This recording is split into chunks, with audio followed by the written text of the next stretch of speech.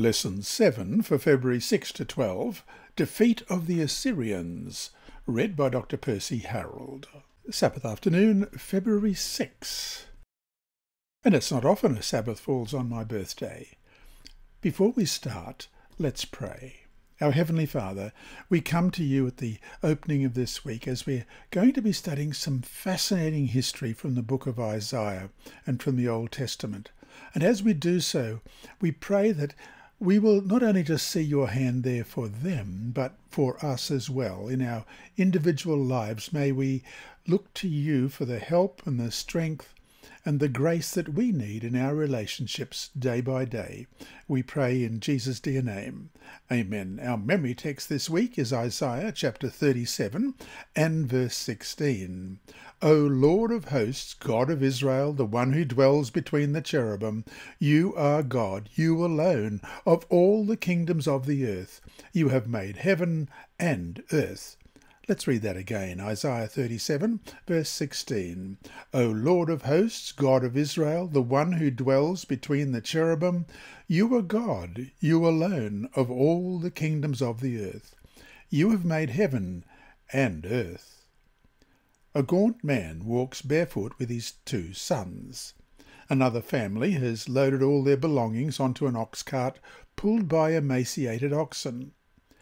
A man leads the oxen while two women sit on the cart. Less fortunate people have no cart, so they carry their possessions on their shoulders. Soldiers are everywhere, writes John Malcolm Russell in The Writing on the Wall, page 137 and 138. A battering ram smashes into the city gate. Archers on top of the ram shoot at defenders on the walls. Hectic carnage reigns supreme.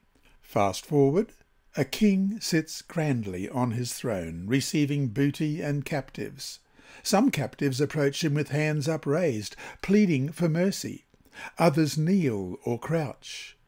Descriptions of these scenes with the king begin with these words Sennacherib, king of the world, king of Assyria, and continue with such expressions as sat in a nimedu throne, and the booty of the city Lachish passed in review before him.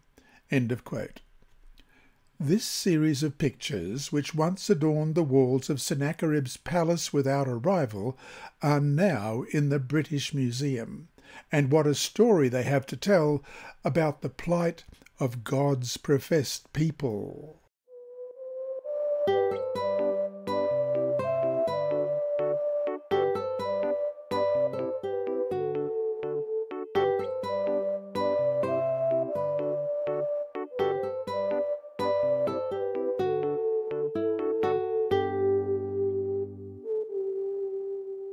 Sunday, February 7. Strings attached.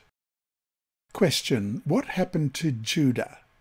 2 Kings 18 verse 13 reads, And in the fourteenth year of King Hezekiah, Sennacherib, king of Assyria, came up against all the fortified cities of Judah and took them. And 2 Chronicles 32 verse 1, After these deeds of faithfulness, Sennacherib, king of Assyria, came and entered Judah. He encamped against the fortified cities, thinking to win them over to himself and Isaiah 36 verse 1, our text for today. Now it came to pass in the fourteenth year of King Hezekiah that Sennacherib king of Assyria came up against all the fortified cities of Judah and took them. When faithless Ahaz died and his faithful son Hezekiah succeeded him, Hezekiah inherited a kingdom that had lost full independence. Having purchased Assyrian aid against the alliance of Syria and northern Israel, Judah was forced to continue paying protection money in the form of tribute to Assyria, as we read in 2 Chronicles 28, 16 to 21. At the same time, King Ahaz sent to the kings of Assyria to help him. For again the Edomites had come, attacked Judah, and carried away captives. The Philistines also had invaded the cities of the lowland and of the south of Judah, and had taken Beth Shemesh, Aijalon, Gederoth, Sochoh, with its villages, Timnah with its villages, and Gimzo with its villages. And they dwelt there. For the Lord brought Judah low because of Ahaz king of Israel, for he had encouraged moral decline in Judah, and had been continually unfaithful to the Lord. Also Tiglath-Pileser king of Assyria came to him and distressed him, and did not assist him. For Ahaz took part of the treasures from the house of the Lord, from the house of the king, and from the leaders, and he gave it to the king of Assyria, but he did not help him. When the Assyrian king Sargon too died on a distant battlefield and was succeeded by Sennacherib in 705 BC, Assyria appeared vulnerable. Evidence from Assyrian and biblical texts reveal that Hezekiah seized this opportunity to rebel, taking aggressive action as the ringleader of an anti-Assyrian revolt among the small nations in his region. As we read in 2 Kings 18 verse 7, the Lord was with him, he prospered wherever he went, and he rebelled against the king of Assyria and did not serve him. Unfortunately for him, Hezekiah had underestimated the resilience of Assyria's might. In 701 BC, when Sennacherib had subdued other parts of his empire, he lashed out against Syria-Palestine with devastating force and ravaged Judah. Question. How did Hezekiah prepare for a confrontation with Assyria? 2 Chronicles 32 beginning at verse 1. After these deeds of faithfulness, Sennacherib king of Assyria came and entered Judah. He encamped against the fortified cities, thinking to win them over to himself. And when Hezekiah saw that Sennacherib had come and that his purpose was to make war against Jerusalem, he consulted with his leaders and commanders to stop the water from the springs which were outside the city, and they helped him. Thus many people gathered together who stopped all the springs and the brook that ran through the land, saying, Why should the kings of Assyria come and find much water? And he strengthened himself, built up all the wall that was broken, raised it up to the towers, and built another wall outside. Also he repaired the Millo in the city of David, and made weapons and shields in abundance. Then he set military captains over the people, gathered them together to him in the open square of the city gate, and gave them encouragement, saying, Be strong and courageous. Do not be afraid nor dismayed before the king of Assyria, nor before all the multitude that is with him, for there are more with us than with him. With him is an arm of flesh, but with us is the Lord our God to help us and to fight our battles. And the people were strengthened by the words of Hezekiah, king of Judah. When Hezekiah saw that Sennacherib intended to take Jerusalem, the capital city, he made extensive preparations for a confrontation with Assyria. He strengthened his fortifications, further equipped and organized his army, and increased the security of Jerusalem's water supply. As we read in 2 Kings 20:20, 20, now the rest of the acts of Hezekiah, all his might, and how he made a pool and a tunnel and brought water into the city, are they not written in the book of the Chronicles of the Kings of Judah? And that's Second Chronicles 32 verse 30. This same Hezekiah also stopped the water outlet of Upper Gihon and brought the water by tunnel to the west side of the city of David. Hezekiah prospered in all his works. The remarkable Siloam water tunnel, commemorated by an inscription telling how it was constructed, almost certainly dates to Hezekiah's preparation for a potential siege. Just as important as military and organizational leadership, Hezekiah provided spiritual leadership as he sought to boost the morale of his people at this frightening time. As we read in Prophets and Kings, page 351, but the king of Judah had determined to do his part in preparing to resist the enemy, and, having accomplished all that human ingenuity and energy could do, he had assembled his forces and had exhorted them to be of good courage. and so to finish the day. If Hezekiah trusted the Lord so much, why did he put forth so much effort on his own? Did his works negate his faith? See Philippians 2 verses 12 to 13 on cooperating with God, who provides the power that is truly effective. Philippians 2 beginning at verse 12. Therefore, my beloved, as you have always obeyed, not as in my presence only, but now much more in my absence, work out your own salvation with fear and trembling. For it is God who works in you both to will and to do for his good pleasure.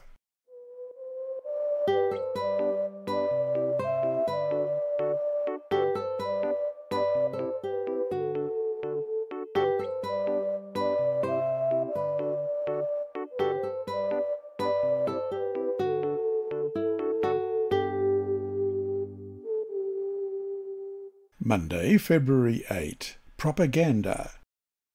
Our text for today is Isaiah 36, verses 2 to 20, but more about that later. The rulers of Assyria were not only brutal, but they also were intelligent.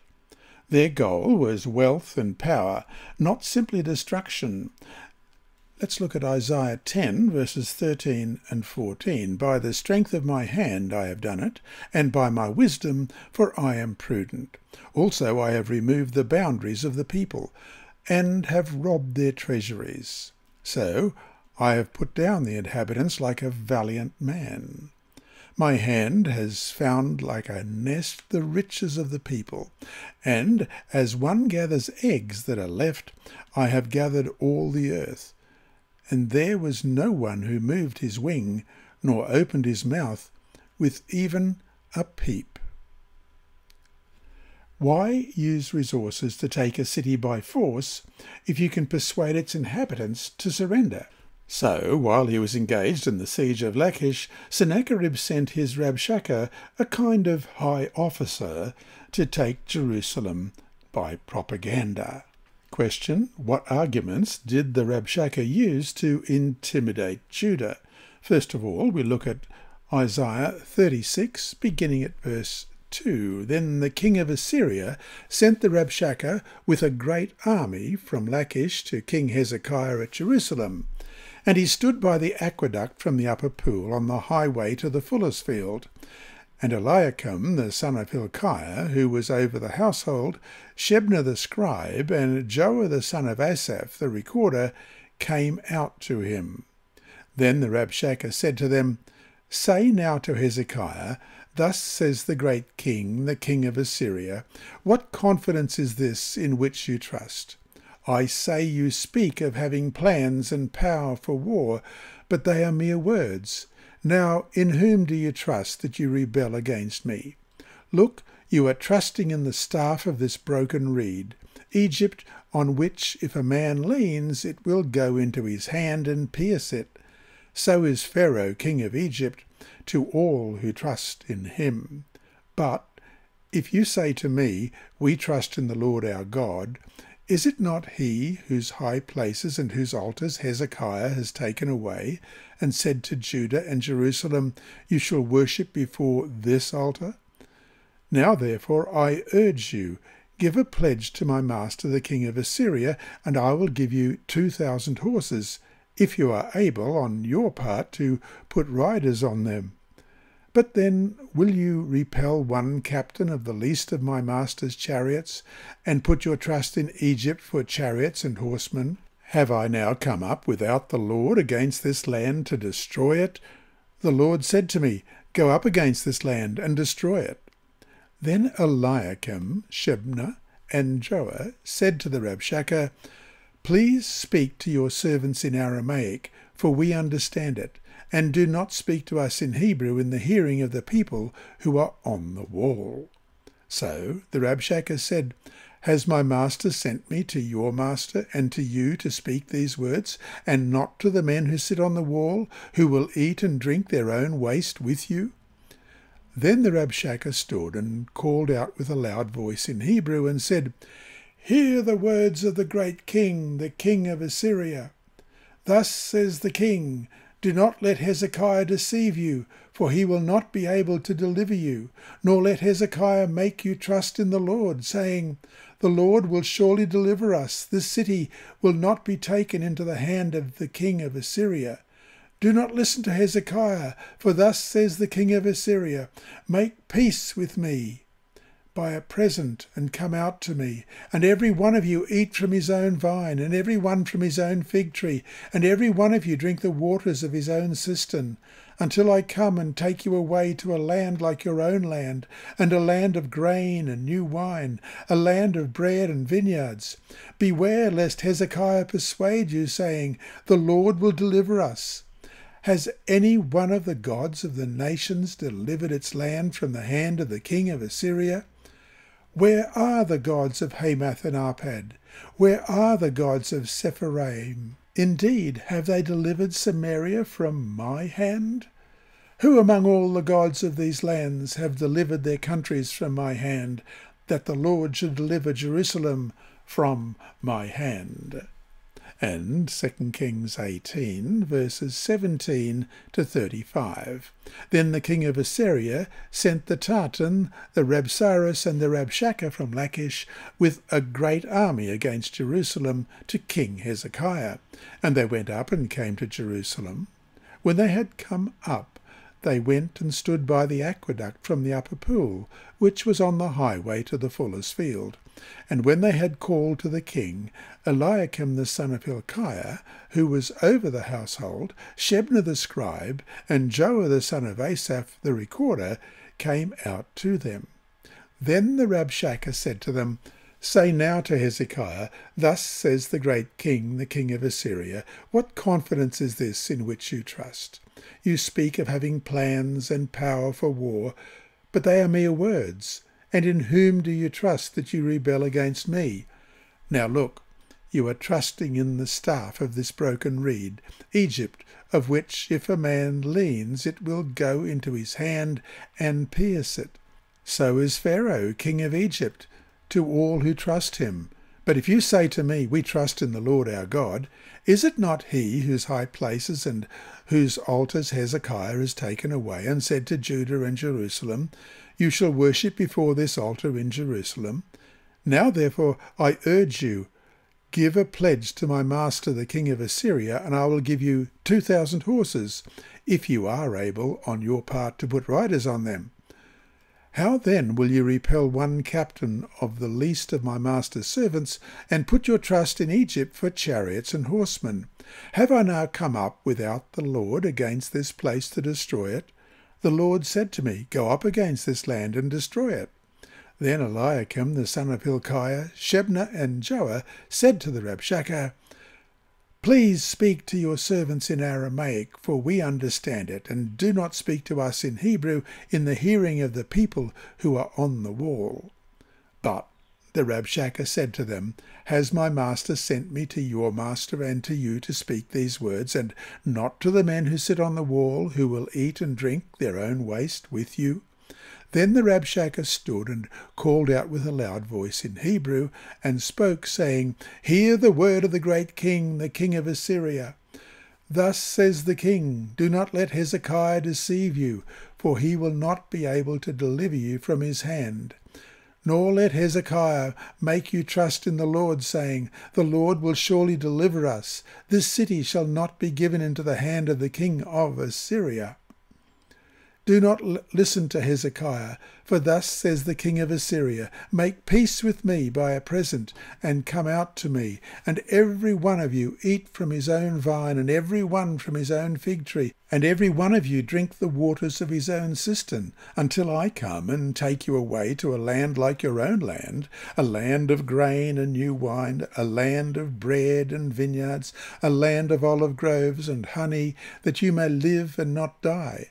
But do not listen to Hezekiah, lest he persuade you, saying, The Lord will deliver us. Has any of the gods of the nations at all delivered its land from the hand of the king of Assyria? Where are the gods of Hamath and Arpad? Where are the gods of Sepharvaim and Hena and Ivah? Indeed, have they delivered Samaria from my hand? Who among all the gods of the lands have delivered their countries from my hand, that the Lord should deliver Jerusalem from my hand? Uh, and Second Chronicles chapter 32, verses 9 to 19. After this, Sennacherib king of Assyria sent his servants to Jerusalem, but he and all the forces with him laid siege against Lachish, to Hezekiah king of Judah, and to all Judah, who were in Jerusalem, saying, Thus says Sennacherib, king of Assyria, In what do you trust that you remain under siege in Jerusalem?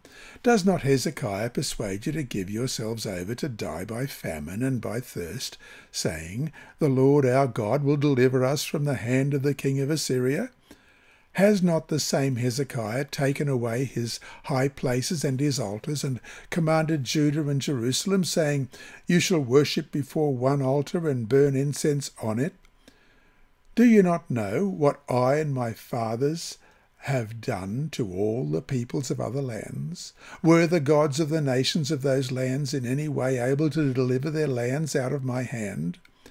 Who was there among all the gods of those nations that my fathers utterly destroyed that could deliver his people from my hand, that your God should be able to deliver you from my hand? Now therefore, do not let Hezekiah deceive you or persuade you like this, and do not believe him. For no God of any nation or kingdom was able to deliver his people from my hand or the hand of my fathers. How much less will God deliver you from my hand. Furthermore, his servants spoke against the Lord God and against his servant Hezekiah. He also wrote letters to revile the Lord God of Israel and to speak against him, saying, As the gods of the nations of other lands have not delivered their people from my hand, so the God of Hezekiah will not deliver his people from my hand. Then they called out with a loud voice in Hebrew to the people of Jerusalem who were on the wall to frighten them and trouble them, that they might take the city. And they spoke against the God of Jerusalem, as against the gods of the people of the earth, the work of men's hands. The Rabshakeh made some rather powerful arguments. You cannot trust Egypt to help you because she is weak and unreliable. You cannot depend on the Lord to help you because Hezekiah has offended him by removing his high places and altars throughout Judah, telling the people to worship at one altar in Jerusalem. In fact, the Lord is on Assyria's side and told Sennacherib to destroy Judah. You don't even have enough trained men to handle 2,000 horses. To avoid a siege in which you have nothing to eat and drink, give up now, and you will be treated well. Hezekiah cannot save you, and because the gods of all the other countries conquered by Assyria have not saved them, you can be sure that your God will not save you either. Question. Was the Rabshakeh telling the truth? Because there was much truth in what he was saying, his arguments were persuasive.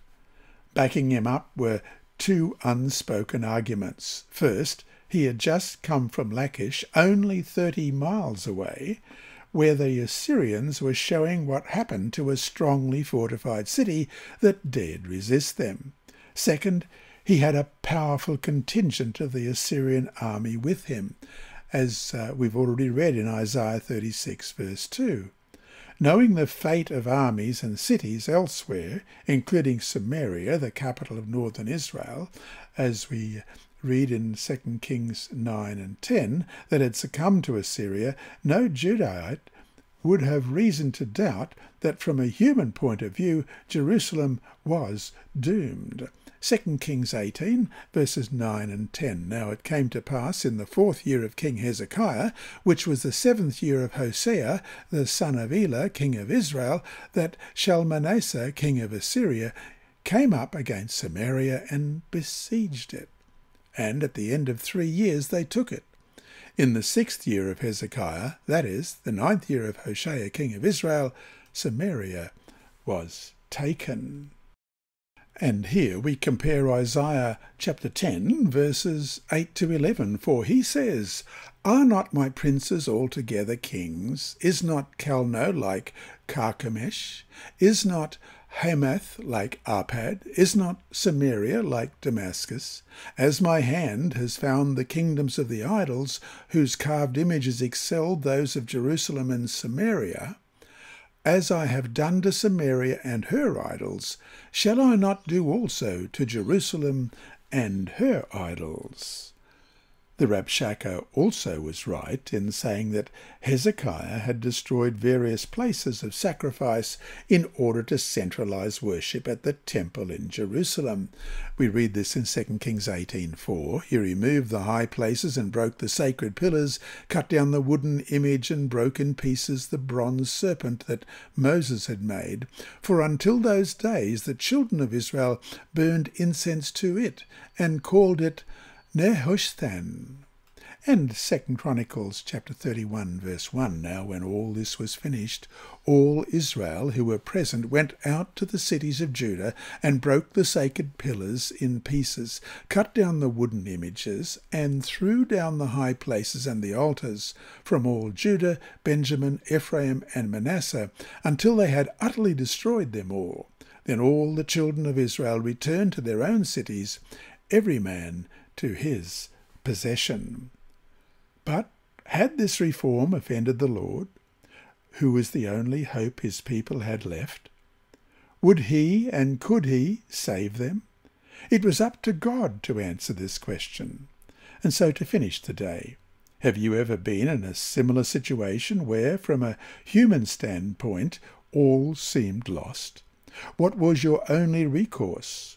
If willing, be prepared to share with your class that experience, how you coped, and the ultimate outcome.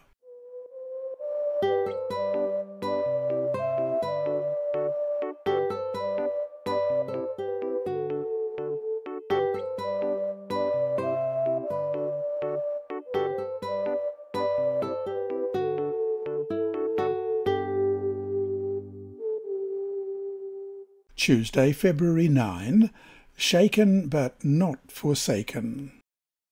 Our text for today is Isaiah 36:21 through to chapter 37, verse 20, but more about that later. Question. How did the clever oratory of the Rabshakeh affect Hezekiah and his officials? First of all, we look at 2 Kings 18, verses 37 through to chapter 19, verse 4. Then Eliakim the son of Hilkiah, who was over the household, Shebna the scribe, and Joah the son of Asaph the recorder, came to Hezekiah with their clothes torn, and told him the words of the Rabshakeh. And so it was, when King Hezekiah heard it, that he tore his clothes, covered himself with sackcloth, and went into the house of the Lord. Then he sent Eliakim, who was over the household, Shebna the scribe, and the elders of the priests, covered with sackcloth, to Isaiah the prophet the son of Amoz. And they said to him, Thus says Hezekiah, This day is a day of trouble and rebuke and blasphemy, for the children have come to birth, but there is no strength to bring them forth. It may be that the Lord your God will hear all the words of the Rabshakeh, whom his master the king of Assyria has sent to reproach the living God, and will rebuke the words which the Lord your God has heard. Therefore lift up your prayer for the remnant that is left. And we're comparing this with Isaiah 36, verse 21 to chapter 37, verse 4. But they held their peace and answered him not a word. For the king's commandment was, Do not answer him. Then Eliakim the son of Hilkiah, who was over the household, Shebna the scribe, and Joah the son of Asaph the recorder, came to Hezekiah with their clothes torn, and told him the words of the Rabshakeh. And so it was, when King Hezekiah heard it, that he tore his clothes, covered himself with sackcloth, and went into the house of the Lord. Then he sent Eliakim, who was over the household, Shebna the scribe, and the elders of the priests covered with sackcloth to Isaiah the prophet, the son of Amoz. And they said to him, Thus says Hezekiah, This day is a day of trouble and rebuke and blasphemy, for the children have come to birth, but there is no strength to bring them forth. It may be that the Lord your God will hear the words of the Rabshakeh, whom his master the king of Assyria has sent to reproach the living God, and will rebuke the words which the Lord your God has heard. Therefore, lift up your prayer for the remnant that is left. Shaken to the core, and mourning in distress, Hezekiah turned to God humbly seeking the intercession of Isaiah, the very prophet whose counsel his father had ignored. Question. How did God encourage Hezekiah? Isaiah 37, verses 5 to 7. So the servants of King Hezekiah came to Isaiah, and Isaiah said to them, Thus you shall say to your master, Thus says the Lord, Do not be afraid of the words which you have heard, with which the servants of the king of Assyria have blasphemed me.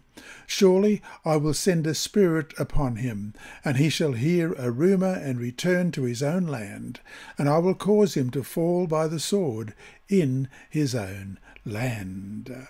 The message was brief, but it was enough. God was on the side of his people. Isaiah predicted that Sennacherib would hear a rumour that would distract him from his attack on Judah. This was immediately fulfilled. Temporarily frustrated, but by no means giving up for long, Sennacherib sent Hezekiah a threatening message. Do not let your God, on whom you rely, deceive you by promising that Jerusalem will not be given into the hand of the king of Assyria. Have the gods of the nations delivered them? Isaiah 37 verses 10 and 12. And we'll also look at 2 Chronicles chapter 32 verse 17. He also wrote letters to revile the Lord God of Israel and to speak against him, saying, As the gods of the nations of other lands have not delivered their people from my hand, so the God of Hezekiah will not deliver his people from my hand. This time Hezekiah went straight to the temple and spread the message out before the Lord of hosts, enthroned above the cherubim. Question. How did Hezekiah's prayer identify what was at stake in Jerusalem's crisis? Isaiah 37 verses 15 to 20. Then Hezekiah prayed to the Lord, saying, O Lord of hosts, God of Israel, the one who dwells between the cherubim, you are God. You alone of all the kingdoms of the earth, you have made heaven and earth. Incline your ear, O Lord, and hear. Open your eyes, O Lord, and see, and hear all the words of Sennacherib which he has sent to reproach the living God. Truly, Lord, the kings of Assyria have laid waste all the nations and their lands, and have cast their gods into the fire, for they were not gods, but the work of men's hands, wood and stone. Therefore they destroyed them.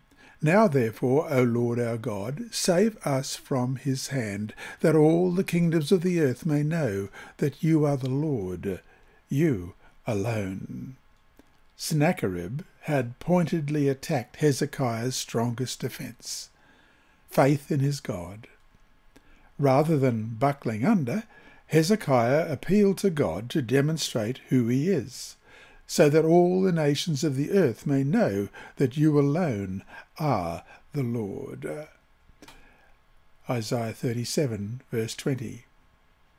And so to finish the day, read prayerfully Hezekiah's prayer in Isaiah 37, 15 to 20, which we've just done.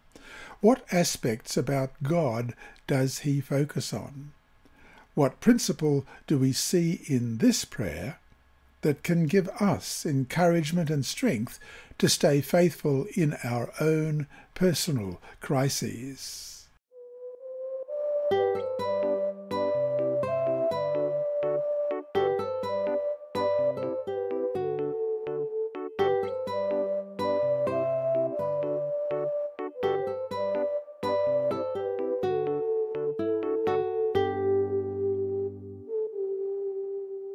Wednesday, February 10. The rest of the story.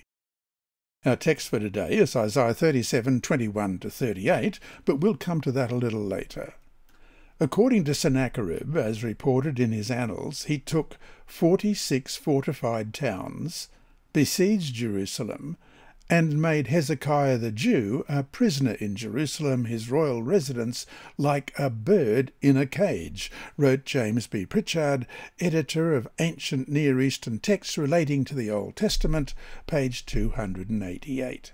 But in spite of his penchant for propaganda as an extension of his monumental ego, neither in text nor in pictures does he claim to have taken Jerusalem. From a human point of view, this omission is amazing, given the inexorable power of Sennacherib and the fact that Hezekiah led a revolt against him. Rebels against Assyria had short life expectancies and gruesome deaths. Scholars acknowledge that even if we did not have the biblical record, we would be compelled to admit that a miracle must have taken place. The fact that Sennacherib lined the walls of his palace without a rival with reliefs, that's carved pictures, vividly depicting his successful siege of Lachish, appears to be due to his need for a face-saving device. But for the grace of God, these pictures would have shown Jerusalem instead. Sennacherib did not tell the rest of the story, but the Bible does. Question. What is the rest of the story? Isaiah 37, verses 21 to 37. Then Isaiah the son of Amoz sent to Hezekiah, saying, Thus says the Lord God of Israel, because you have prayed to me against Sennacherib king of Assyria, this is the word which the Lord has spoken concerning him. The virgin, the daughter of Zion, has despised you, laughed you to scorn. The daughter of Jerusalem has shaken her head behind your back. Whom have you reproached and blasphemed? Against whom have you raised your voice and lifted up your eyes on high against the Holy One of Israel? By your servants you have reproached the Lord, and said, By the multitude of my chariots I have come up to the height of the mountains, to the limits of Lebanon. I will cut down its tall cedars and its choice cypress trees. I will enter its farthest height, to its fruitful forest. I have dug and drunk water, and with the soles of my feet I have dried up all the brooks of defence. Did you not hear long ago how I made it, from ancient times that I formed it? Now I have brought it to pass that you should be for crushing fortified cities into heaps of ruins. Therefore their inhabitants had little power. They were dismayed and confounded. They were as the grass of the field and the green herb, as the grass on the housetops, and grain blighted before it is grown. But I know your dwelling place, your going out and your coming in, and your rage against me, because your rage against me and your tumult have come up to my ears. Therefore I will put my hook in your nose and my bridle in your lips, and I will turn you back by the way which you came. This shall be a sign to you. You shall eat this year such as grows of itself, and the second year what springs from the same. Also, in the third year, sow and reap, plant vineyards, and eat the fruit of them. And the remnant who have escaped of the house of Judah shall again take root downward, and bear fruit upward. For out of Jerusalem shall go a remnant, and those who escape from Mount Zion, the zeal of the Lord of hosts will do this. Therefore, thus says the Lord concerning the king of Assyria, He shall not come into this city, nor shoot an arrow there, nor come before it with shield, nor build a siege mound against it, by the same way that he came, by the same shall he return, and he shall not come into this city, says the Lord, for I will defend this city to save it for my own sake, and for my servant David's sake. Then the angel of the Lord went out and killed in the camp of the Assyrians one hundred and eighty-five thousand. And when people arose early in the morning, there were corpses, all dead. So Sennacherib, king of Assyria, departed and went away, returned home, and remained at Nineveh. Now it came to pass, as he was worshipping in the house of Nisroch, his god, that his sons Adrammelech and Sharezer struck him down with the sword, and they escaped into the land of Ararat. Then Esarhaddon his son reigned in his place. In response to Hezekiah's prayer of total faith, God sent him a message of total assurance for Judah that boils over with molten fury against the proud Assyrian king who had dared to defy the divine King of Kings, as we have just read in verse 23, which once again reads, Whom have you reproached and blasphemed? Against whom have you raised your voice and lifted up your eyes on high against the Holy One of Israel? Then God promptly fulfilled his promise to defend Jerusalem, and we find that in 2 Kings chapter 19 verses 35 to 37. And it came to pass on a certain night that the angel of the Lord went out and killed in the camp of the Assyrians 185,000. And when people arose early in the morning, there were the corpses, all dead. So Sennacherib king of Assyria departed and went away, returned home, and remained in Nineveh. Now it came to pass, as he was worshipping in the temple of Nisroch his god, that his sons Adrammelech and Sharezer struck him down with the sword, and they escaped into the land of Ararat. Then Esarhaddon his son reigned in his place. And Second Chronicles 32 verses 21 and 22. Then the Lord sent an angel who cut down every mighty man of valour, leader and captain in the camp of the king of Assyria. So he returned shamefaced to his own land, and when he had gone into the temple of his God, some of his own offspring struck him down with the sword there.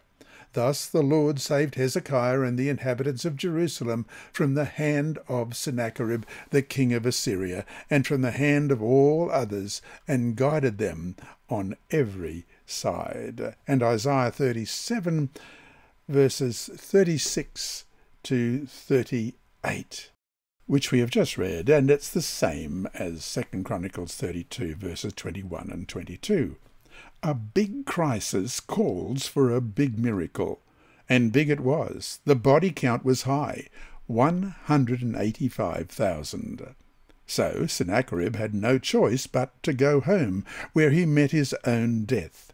As we read in Isaiah 37, verses 7 to 38. Most of that we've read earlier, but Let's just read from verse 7 for a few verses. Surely I will send a spirit upon him, and he shall hear a rumour, and return to his own land, and I will cause him to fall by the sword in his own land. Then the Rabshakeh returned and found the king of Assyria warring against Libnah, for he heard that he had departed from Lachish. And the king heard concerning Tirhakah, king of Ethiopia, who has come out to make war with you. So when he heard it, he sent messengers to Hezekiah, saying, Thus you shall speak to Hezekiah, king of Judah, saying, Do not let your God, in whom you trust, deceive you, saying, Jerusalem shall not be given into the hand of the king of Assyria.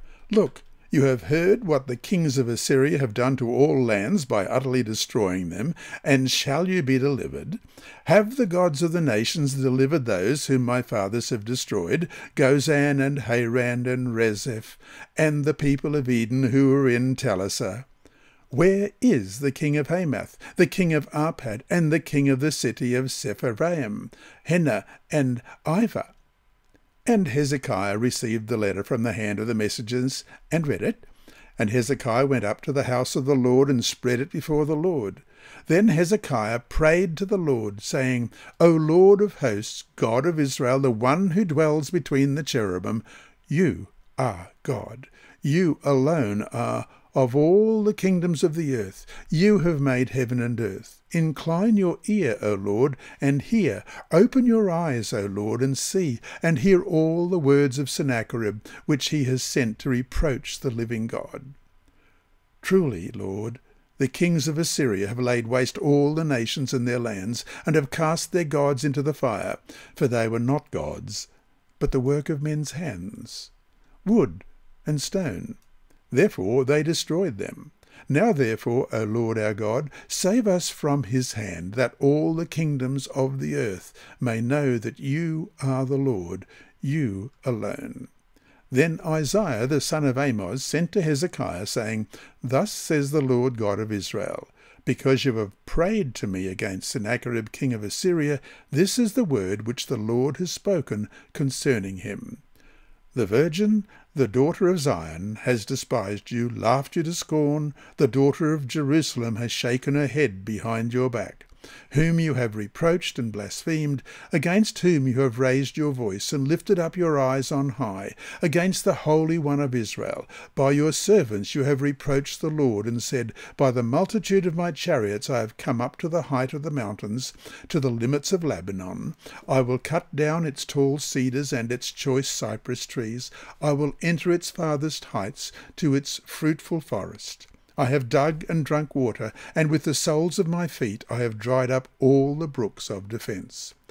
Did you not hear long ago how I made it from ancient times that I formed it? Now I have brought it to pass, that you should be for crushing and fortified cities into heaps of ruins. Therefore their inhabitants had little power. They were dismayed and confounded. They were as the grass of the field and the green herb, as the grass of the housetops and grain blighted before it is grown. But I know your dwelling place, your going out and your coming in, and your rage against me, because your rage against me and your tumult have come up to my ears. Therefore I will put my hook in your nose, and my bridle in your lips, and I will turn you back by the way which you came. This shall be a sign to you. You shall eat this year such as grows of itself, and the second year what springs from the same. Also in the third year sow and reap, plant vineyards and eat the fruit of them. And the remnant who have escaped of the house of Judah shall again take root downward, and bear fruit upward. For out of Jerusalem shall go a remnant, and those who escape from Mount Zion. The zeal of the Lord of hosts will do this. Therefore, thus says the Lord concerning the king of Assyria. He shall not come into the city, nor shoot an arrow there, nor come before it with shield, nor build a siege mound against it. By the way that he came, by the same shall he return. And he shall not come into the city, says the Lord. For I will defend this city to save it for my own sake, and for my servant David's sake. Then the angel of the Lord went out and killed in the camp of the Assyrians one hundred and eighty-five thousand and when people arose early in the morning, there were corpses, all dead. So Sennacherib, king of Assyria, departed and went away, returned home, and remained at Nineveh. Now it came to pass, as he was worshipping in the house of Nisroch his god, that his sons Adrammelech and Sharezer struck him down with the sword, and they escaped into the land of Ararat. Then Esarhaddon his son reigned in his place. Ellen White writes in Prophets and Kings, page 361, the God of the Hebrews had prevailed over the proud Assyrian. The honour of Jehovah was vindicated in the eyes of the surrounding nations. In Jerusalem, the hearts of the people were filled with holy joy. End of quote. Also, if Sennacherib had conquered Jerusalem, he would have deported the population in such a way that Judah would have lost its identity as northern Israel did. From one perspective, then, there would have been no Jewish people to whom the Messiah could be born. Their story would have ended right there. But God kept hope alive. And so to finish the day, what do you say to someone who, not yet believing in the Bible or the God of the Bible, asks this question was it fair that these Assyrian soldiers, who just happened to be born where they were, should die en masse like this? How do you personally understand the Lord's actions here?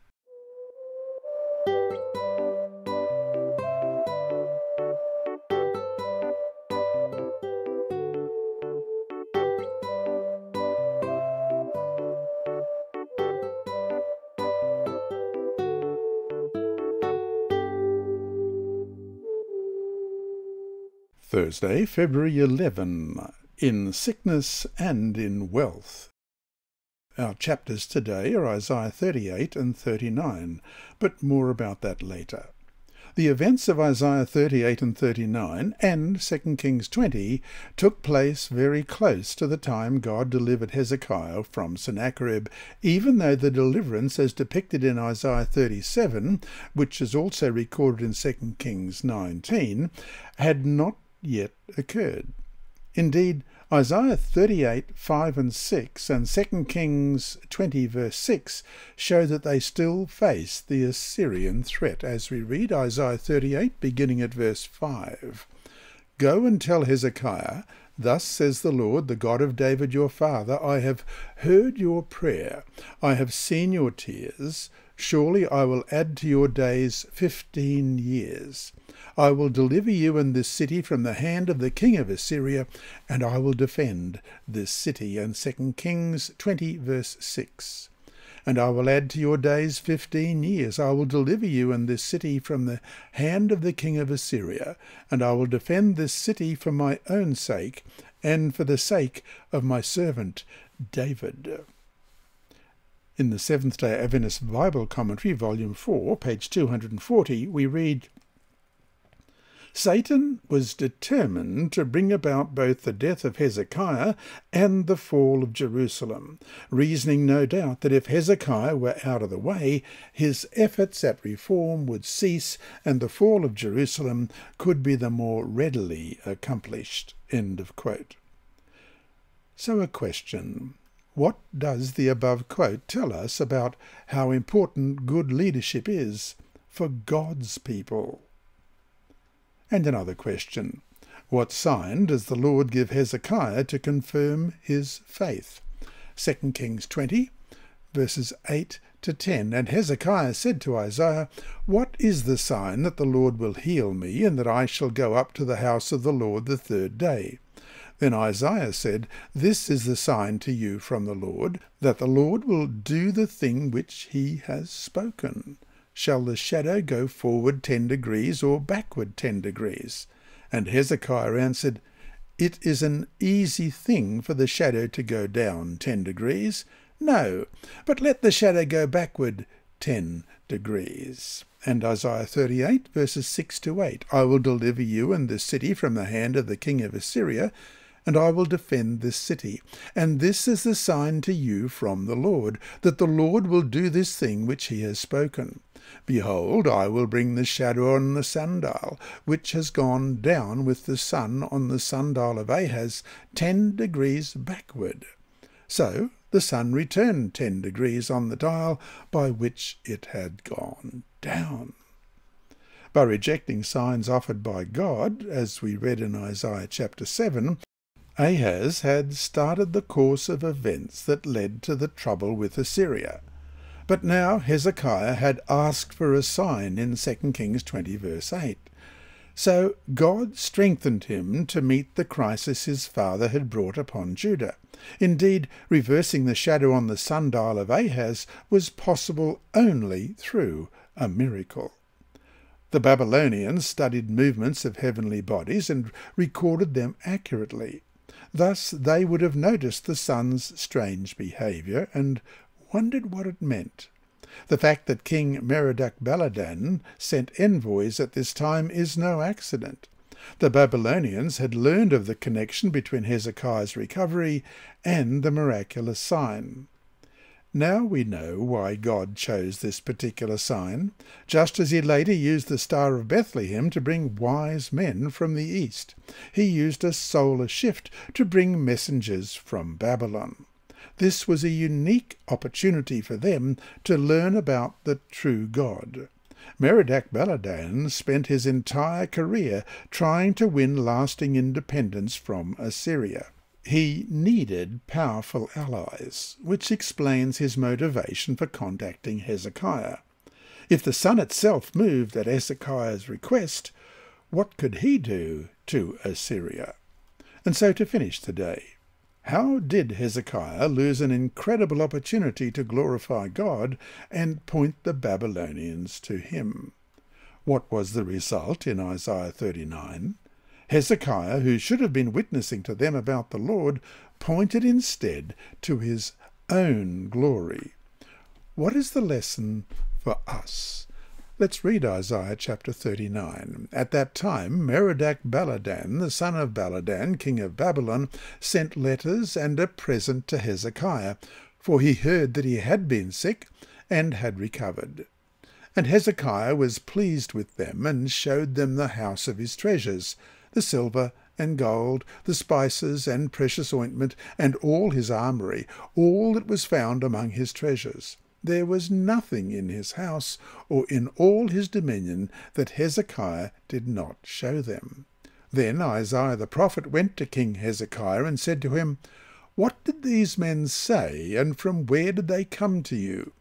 So Hezekiah said, They came to me from a far country, from Babylon.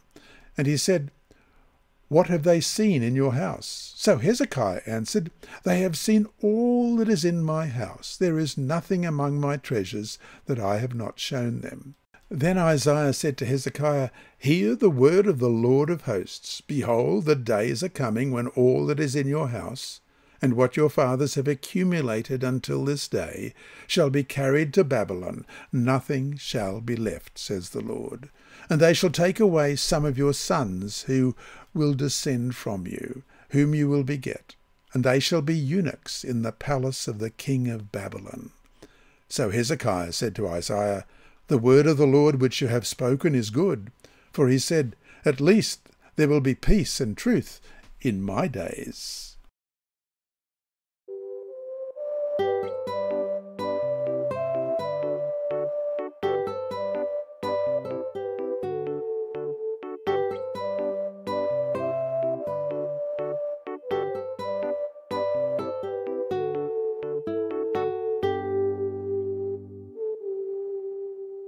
Friday, February 12.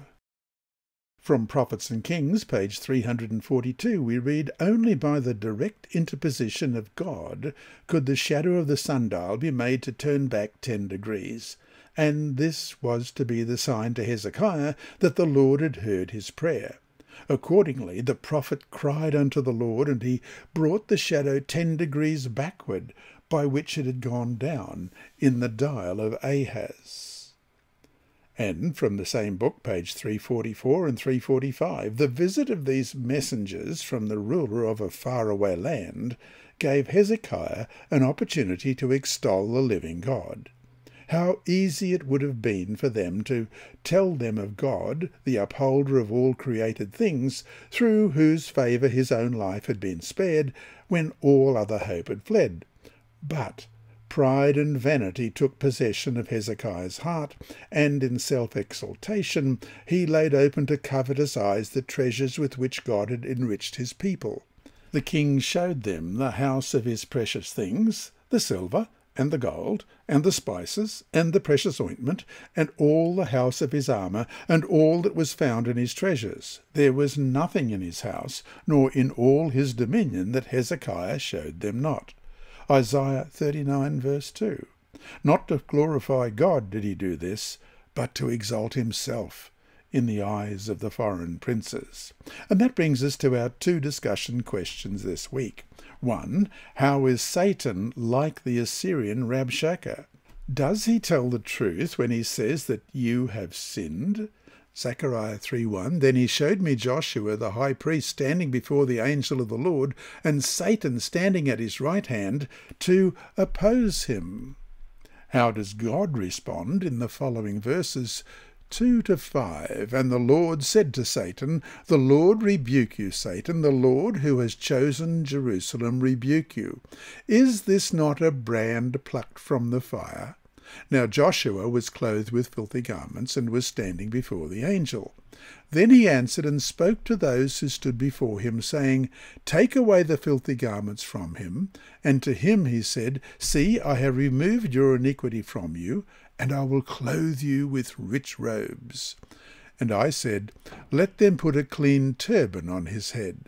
So they put a clean turban on his head, and they put the clothes on him and the angel of the Lord stood by. What is our only hope against these accusations? Romans 8, verse 1 There is therefore now no condemnation to those who are in Christ Jesus, who do not walk according to the flesh, but according to the Spirit. And question two Does Satan stop his accusations when we are forgiven?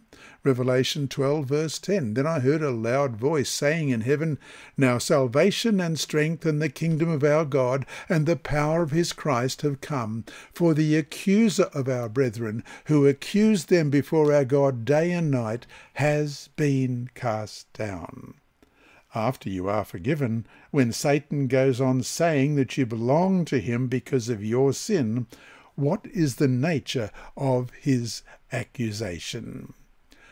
Deuteronomy 19, verses 16 to 21.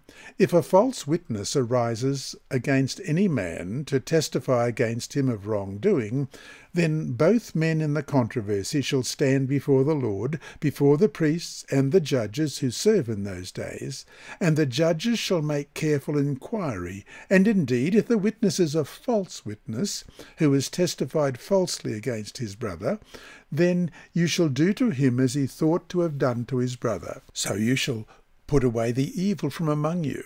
And those who remain shall hear and fear, and hereafter they shall not again commit such evil among you. Your eye shall not pity, life shall be for life, eye for eye, tooth for tooth, hand for hand, foot for foot. The law of a lying, malicious witness and to summarize this week's lesson. In response to the cry of a faithful king, God saved his people and showed who he is. The omnipotent King of Israel who controls the destiny of earth. Not only does he destroy those who attempt to destroy his people, but he also provides opportunities for others, no matter how Babylonian, to become his people.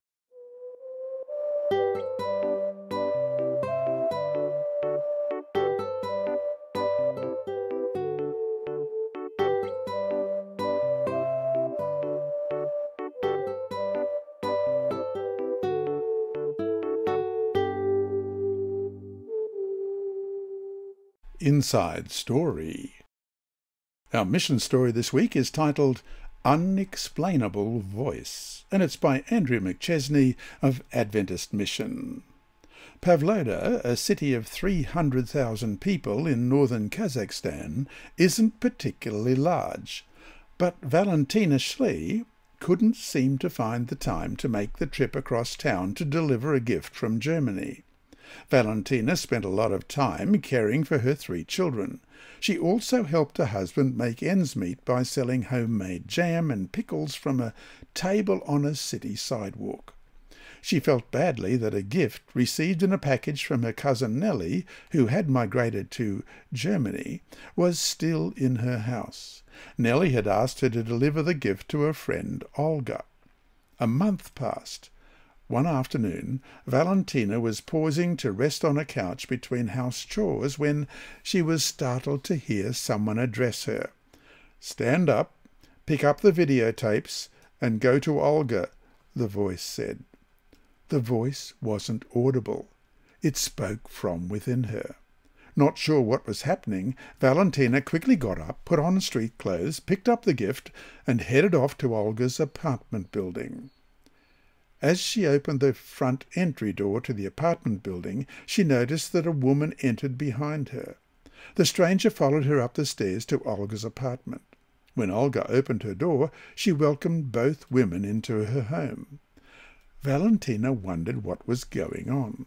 Rosa, this is Valentina. Valentina, this is Rosa, Olga said, introducing the two women to each other. Then she turned to Rosa.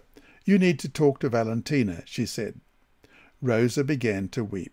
Through tears she explained that she was facing numerous difficulties at home and had contemplated suicide. She also was seeking God, but she didn't understand what she was reading in the Bible. Valentina is a Christian, Olga said. She can help you. Valentina invited Rosa to attend Bible studies with her. Several months later, Rosa was baptized. Valentina said the experience underscored the importance of abiding in Christ as described in John 15, 7 and 8, where Jesus said, If you abide in me, and my words abide in you, you will ask what you desire, and it shall be done for you. By this my Father is glorified, that you bear much fruit. So you will be my disciples. When you have an abiding relationship with God, he can tell you where to go and whom to talk with, Valentina said. You can know his will. Part of the 2017 13th Sabbath offering helped open the first Seventh-day Adventist preschool in Valentina's hometown, Pavlodar in Kazakhstan. And there's a lovely photo of Valentina sitting here, and I think it's inside her church.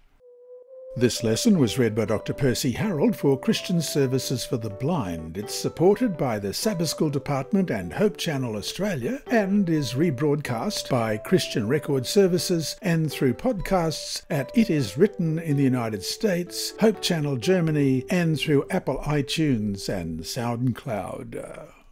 Remember, God is always faithful.